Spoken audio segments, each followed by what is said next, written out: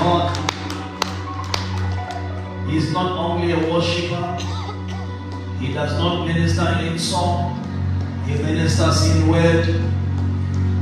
What I love, he worships the one that he knows. And one thing about him is that he worships as he hears. So I know many would want to define the word worship.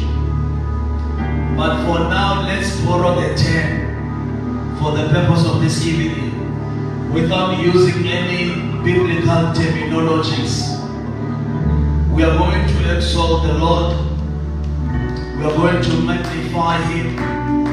We are going to glorify Him together with Him.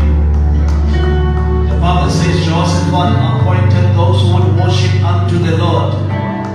And the Bible says God is seeking for such meaning such caliber does exist. Those who are able to worship God in spirit and in truth. Those who are worshiping, who are worshiping God based on the revelation of who He is in their lives. You cannot worship whom you do not know.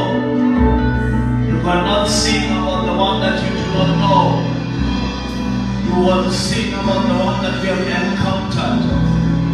So tonight, help me as I welcome the one and only